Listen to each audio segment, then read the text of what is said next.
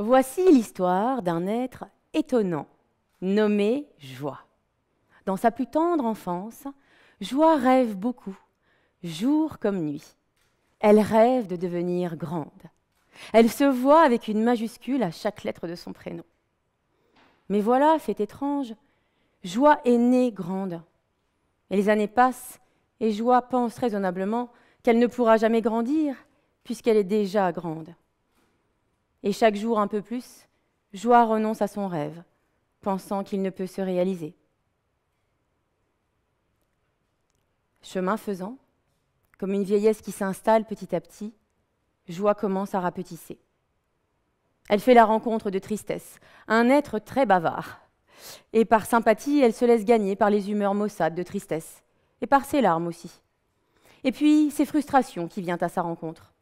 En réalité, Joie rêve toujours silencieusement, mais elle a fini par avoir peur de son rêve.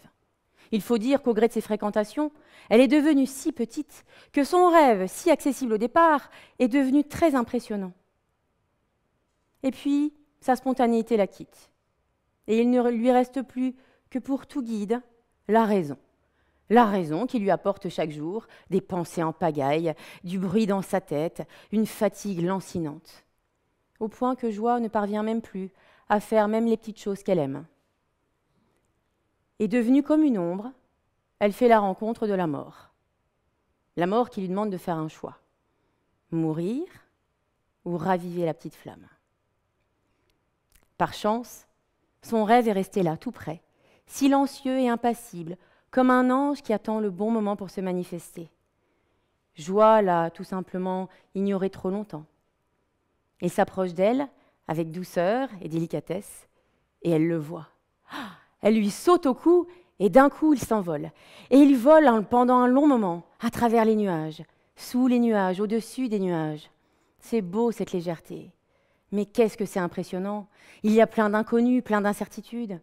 Mais comme par enchantement, leur péripétie termine toujours par des sourires et des éclats de rire. Joie comprend alors que pour que son rêve se réalise, il faut qu'elle y croie.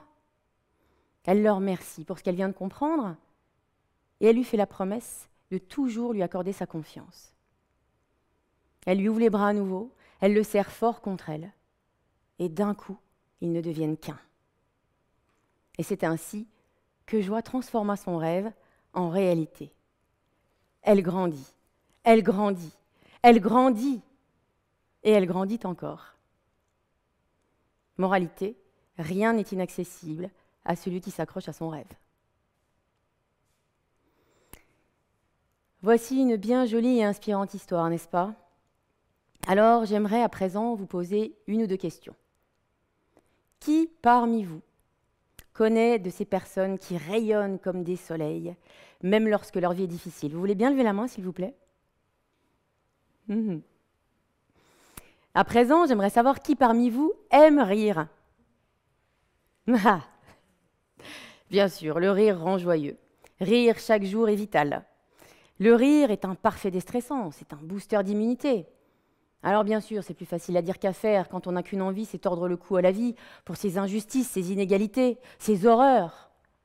Et pourtant, l'un n'exclut pas l'autre. L'art aussi est très fort à rendre joyeux. L'art a une fonction enthousiasmante. Il permet de créer, il permet de s'exprimer, il stimule, il régule, il libère. Il est un véritable outil de bien-être. Et dans l'art, il a des formes en particulier qui peuvent particulièrement rendre heureux. Et moi, eh j'ai trouvé ma forme. C'est la danse. Je n'ai pas fait ce constat en un jour. La danse m'a fait emprunter un chemin long et sinueux avant de me rendre compte qu'elle était ma source de joie. D'abord, j'ai eu un prix de conservatoire en danse classique et puis j'ai bifurqué. J'ai fait de longues études pour devenir notaire. Comment vous dire? C'est comme si j'avais fait le grand écart sans échauffement. Mais après 17 années de notariat, j'ai bifurqué à nouveau. Alors, comment j'ai fait pour tenir autant de temps dans un métier qui était loin de mes rêves? Eh bien, j'ai dansé, chaque soir, chaque week-end, pour mieux supporter ce que je faisais dans la semaine. Et puis j'avoue, j'ai eu beaucoup de chance. Autour de moi, j'ai toujours eu une personne pleine d'humour, qui faisait que le rire compensait les larmes que j'avais à faire ce que je faisais. Et puis le jour où j'ai réussi à quitter le notariat, à me libérer de cette obligation, eh bien, je me suis posé une question plusieurs fois. Comment faire pour que chaque matin soit une fête en sautant dans mes vêtements? Et là, j'ai compris. Il me fallait faire un choix, celui de reprendre la danse. Alors quand on prend une décision, tout s'organise, mais le moment de faire des choix fait peur. Et j'y suis parvenue, mais progressivement. Je suis allée d'expérience positive en expérience joyeuse, et de cette manière, j'ai opéré le retournement. Et je suis devenue danseuse professionnelle pour ma plus grande joie. Envoyer valser ma carrière de notaire pour être danseuse a été un premier pas vers mon épanouissement personnel, évidemment. Mais il me restait encore à faire l'ascension vers mon nirvana. Et j'y suis arrivée. Oui, oui, oui, j'y suis arrivée. Alors non, je ne vais pas danser pour vous aujourd'hui. Vous n'êtes pas là pour ça, et moi non plus d'ailleurs. Non. Je vais plutôt vous raconter comment, en quête de mon bien-être, avec la danse pour tout bagage, et la joie fermement accrochée à mon cœur, eh bien, c'est en procurant du bonheur aux autres que je suis parvenue à décrocher la lune. D'abord, je me suis dit, prends du recul, observe, écoute. Je sais d'expérience que ne pas être écouté peut diriger vers la perte de sens. Et puis, j'ai beaucoup observé et j'ai vu que sur cette planète, de nombreuses personnes se contentent de la personnalité pour exclure, juger, et je me suis dit, mais que de joie sacrifiée. Pour ma part, j'ai préféré regarder d'abord le meilleur en chacun. Et puis, je me suis mise à prêter une attention fine aux masques que nous portons tous pour protéger nos vulnérabilités. Et c'est avec ces pensées ainsi guidées que je peux, avec mes moyens chaque jour depuis, remettre de l'humanité dans ma vie et dans la vie des personnes que je côtoie. Parce qu'il faut dire aussi que plusieurs questions me taraudent. Pourquoi vivre sur cette planète si c'est pour se priver des joies et des bonheurs qu'elle nous procure? Pourquoi notre passage sur Terre ne serait pas qualitatif, voire merveilleux? Et pourquoi, si on parvient à être heureux, on garde ce bonheur pour soi? Eh bien, mes pensées et ma démarche sont allées bien au-delà de mon imagination. Vous allez comprendre. Si je vous dis cancer, peur, traitement. Et maintenant, si je vous dis joie de vivre, musique, danse, on voit là qu'on touche à deux mondes a priori inconciliables. Pourtant, dans mon quotidien, c'est ce que je fais. Je concilie ces deux univers. Je suis danseuse au chevet des personnes touchées par le cancer et en fin de vie. Mon opéra Garnier à moi, c'est Gustave Roussy, le Centre européen de recherche et de soins du cancer.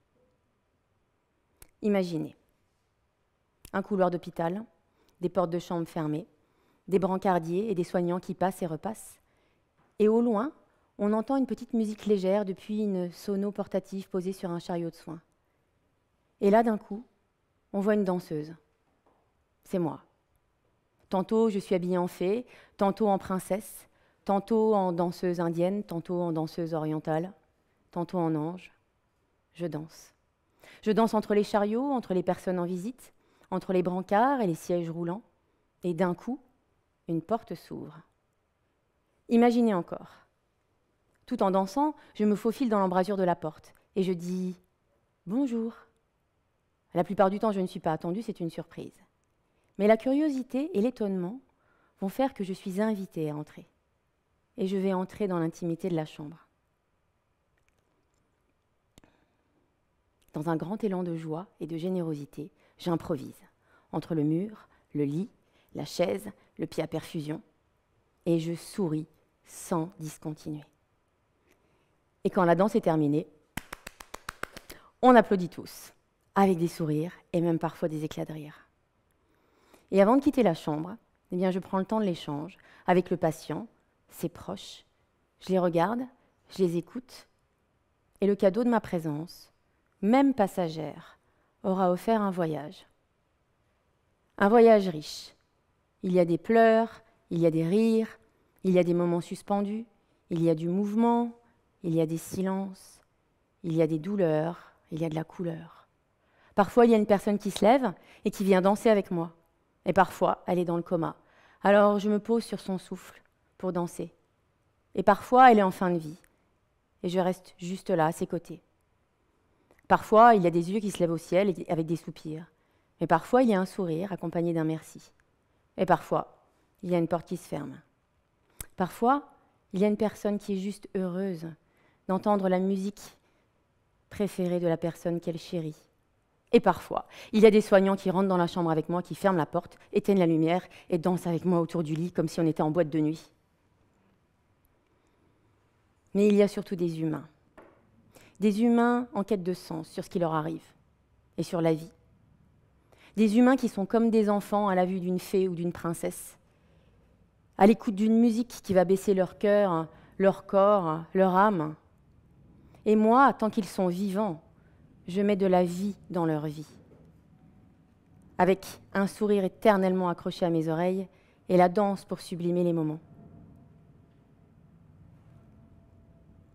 Alors, chaque semaine, avec les soignants, nous transformons ainsi les douleurs des patients et de leurs proches en joie. Et ce qui est incroyable, c'est que ça me rend immensément heureuse. Le cercle est vertueux. Alors, je sais ce qu'on va dire, et on me le dit souvent.